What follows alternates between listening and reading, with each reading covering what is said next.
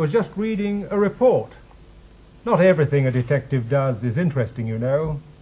Well, we have to check facts, follow clues, and sometimes they don't lead anywhere. What I like most about my job is working with people. You learn to watch their faces, notice the look in their eyes. But the most important thing is what people say. Well, to be a good detective, you really have to be a good listener. The case came to my desk two days ago. I call it Lights Out.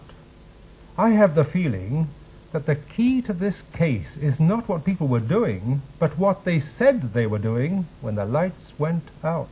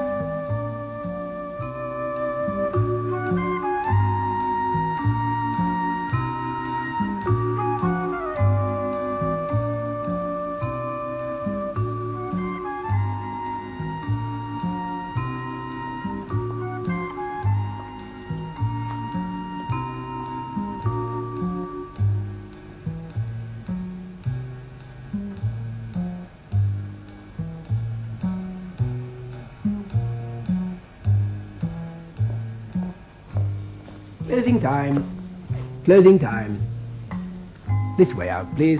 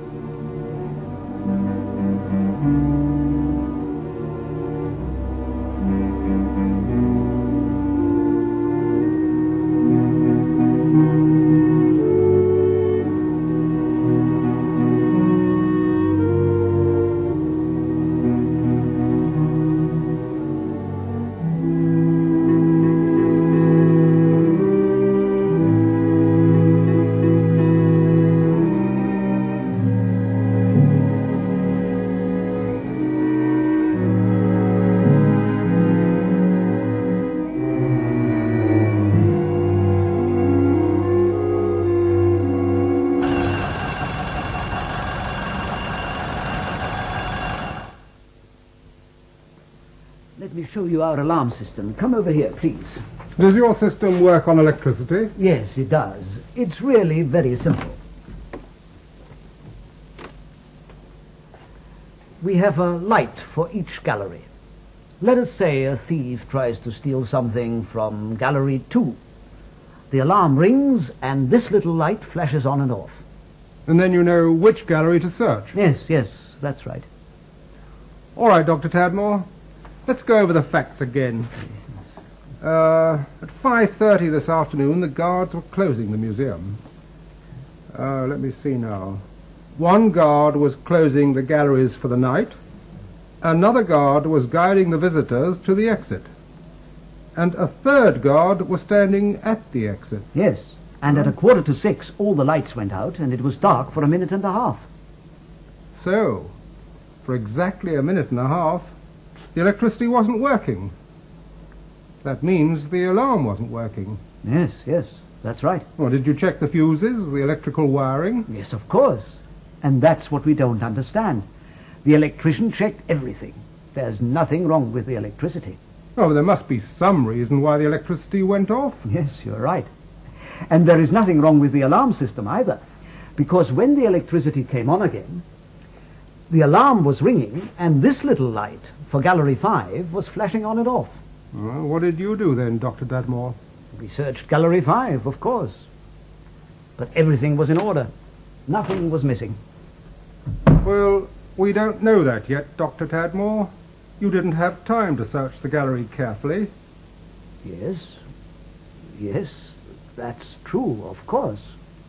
Did anyone leave the museum during the time the lights were out? No, no, no. That's quite impossible. The guard was guarding the exit, and he certainly didn't let anyone leave. I made sure of that fact myself. Well, that's all for now, Dr. Tadmore. Let's go upstairs. Certainly. If you like to follow me.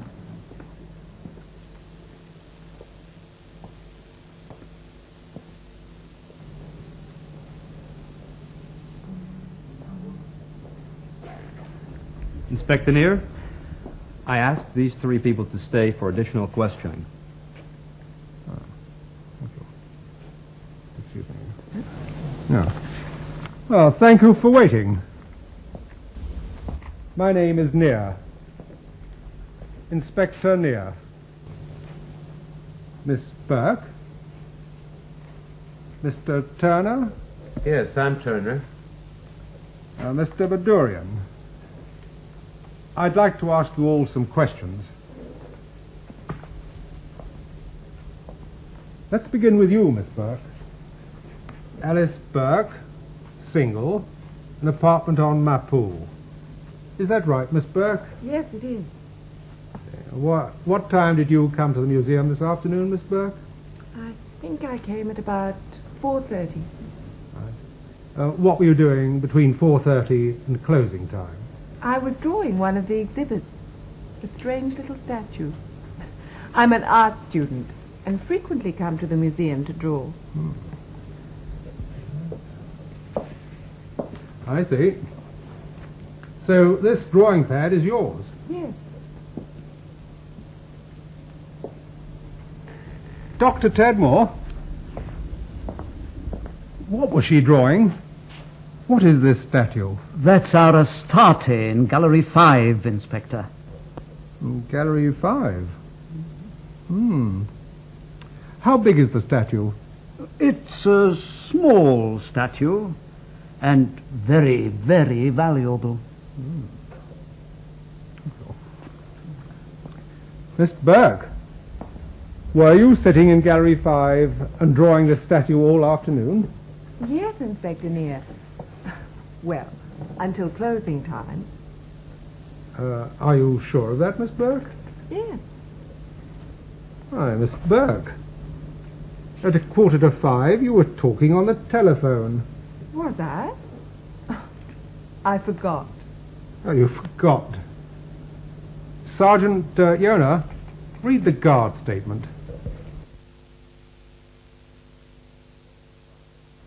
At a quarter to five, I was walking near Gallery 5.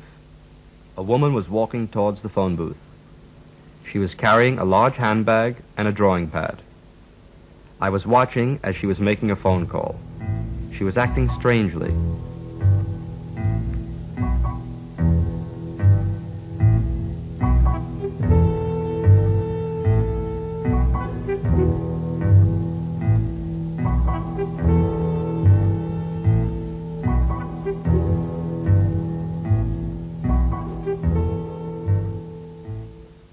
Was Miss Burke. Uh, who were you phoning, Miss Burke? A friend. I was just phoning a friend. A friend? Well, who is this friend? Oh, really, Inspector Near? Does it matter? All right. What's your friend's phone number? I don't remember.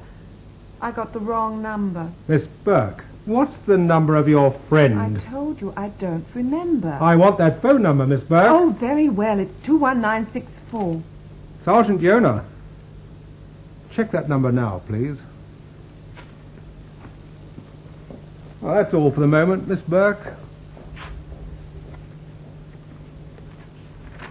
Mr. Badurian, I would like. Uh, what time did you come to the museum this afternoon?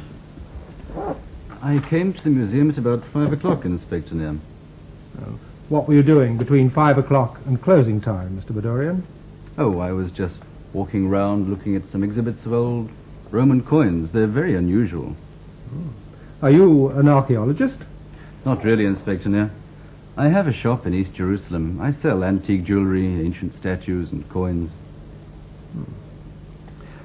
Mr. Badurian, at 5.30, the guards were closing the museum. Uh, what were you doing then? At five thirty, Yes, at 5.30. It was just a short time ago, Mr. Badurian. Surely you can remember what you were doing? oh yes, I was in Gallery Five. I was sitting on a bench looking at the Astarte. A magnificent little statue.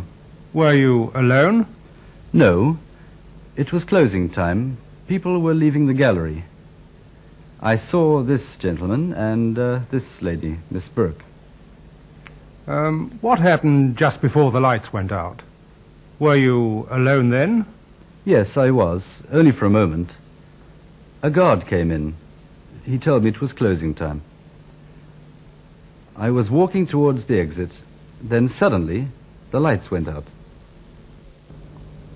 Are you sure of that, Mr. Badurian? Quite, quite sure. Ah, that's strange. Listen to the statement of the guard. Uh, yes, it says right here, when the lights went out, you were still in Gallery 5. No, Inspector, the guard is wrong. I was not in Gallery 5.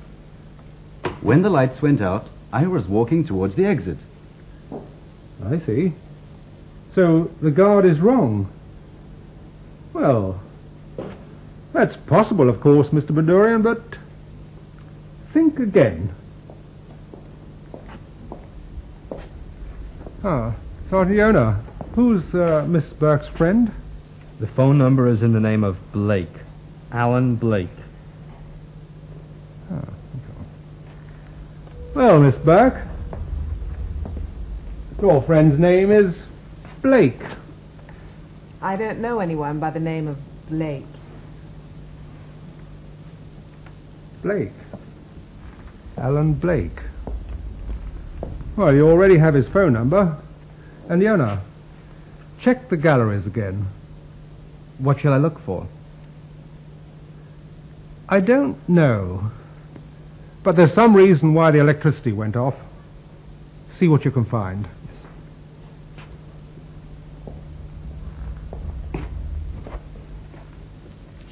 Mr. George Turner, tourist. Uh, you came to Israel with a group. Is that right, Mr. Turner? Yes, that's right, Inspector. I see. And when did you come to the museum this afternoon, Mr. Turner? Oh, sometime after lunch. After lunch? Mm-hmm. Wait a minute. Let me read the statement of the guard at the door. Now, this afternoon at a quarter past five, I was standing at the museum door. A man was running up the steps. He was just running past me when I stopped him. I told him that it was almost closing time, but he bought a ticket anyway. Was that you, Mr. Turner? Yes, that was me. So you didn't arrive after lunch. You arrived at a quarter past five. Why did you come to the museum 15 minutes before closing time? Oh, why not? Inspector, I like museums. Mr. Turner, at a quarter to six, the lights went out. What were you doing then? Walking around. Inspector, what do people usually do in uh, museums? Mr. Turner, I didn't ask you that. I don't want to know what people usually do in museums. I want to know what you were doing when the lights went out. I was looking at an exhibit of old glass bottles. Inspector Near. That exhibit is in Gallery 7. Hmm. Okay. So, you were standing in Gallery 7 at a quarter to six. Yes.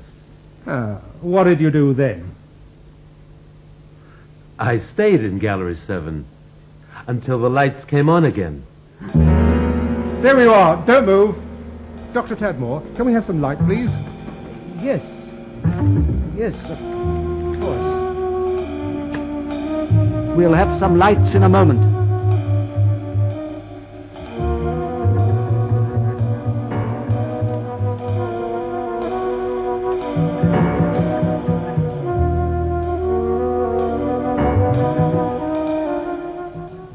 Inspector Near, you were right. Look at this. Why, that's jeweler's wire. Where did you find the wire, Yona? It was in an electric outlet. I touched it, and all the lights went out. Oh, they went out for a second time today. Well, Dr. Tadmore, now we know the reason the electricity went off at a quarter to six. Someone put this little piece of wire into an electric outlet.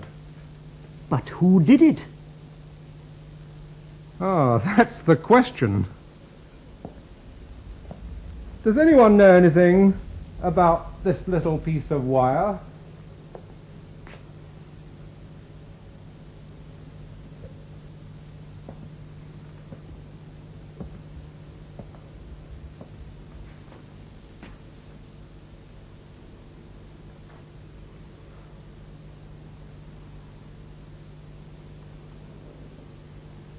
Mr. Bedorian, this is jeweler's wire.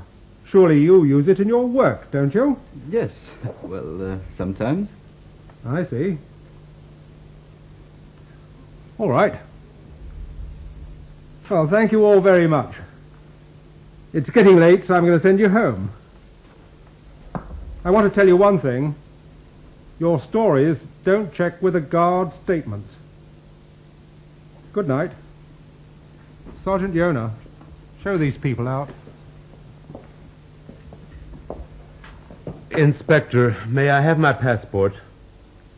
Now, I'm sorry, Turner, but not yet.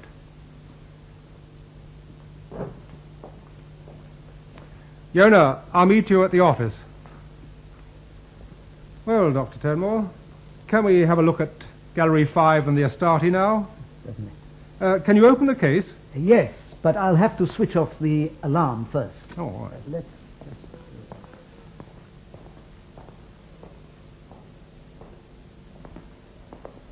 Here it is. This is the Astarte. Can I hold it in my hand, please?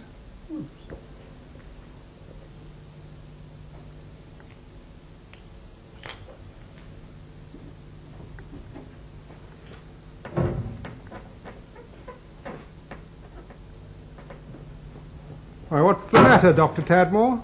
This isn't the Astarte, Inspector Near. It's. A plaster copy? Yes, it's a plaster copy. How did you know? You aren't surprised. No, I'm not. Too many unusual things were happening at the museum this afternoon. The electricity went off. Ah, yes, that little piece of jeweler's wire. Yes, you're right, Dr. Tadmore. That was a very clever idea. As long as the electricity wasn't working, the alarm didn't ring. Yes, I understand. But I'm afraid that the thief is at the airport by now with our Astarte. No, I don't think so. The statue is probably still right here in the museum. Let's check the facts again. How long was the electricity off? A minute and a half. Well, that's all you'll need. To open a case, take out a statue, put in a copy, lock the case, and leave the gallery. but it isn't long enough to get out of the museum with a statue. Yes, yes, I see. And no one left the museum. The guard was standing at the exit all that time. Hmm. And there's another fact. Sergeant Jonas searched everyone, even you, Dr. Tadmore. But nobody had the statue. Yes, of course, Inspector. It's clear the Astarte is still right here in the museum. But where?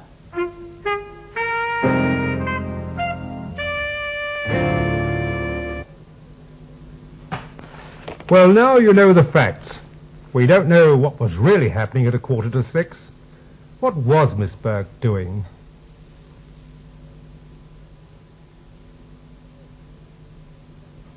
She said that she was sitting in Gallery 5 and drawing the Astarte until closing time, but the guard said that Miss Burke was making a telephone call at a quarter to five. Well, why was she lying about that telephone call? And who is Alan Blake? Then there's Mr. Badorian.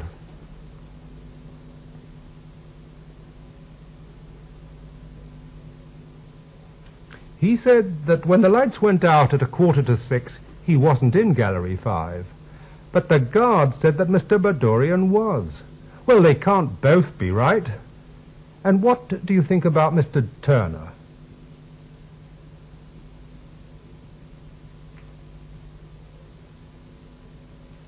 He told us that he came to the museum after lunch.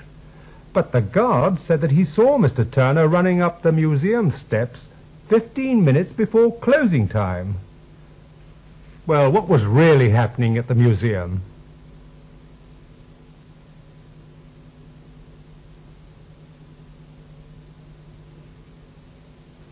What do you think?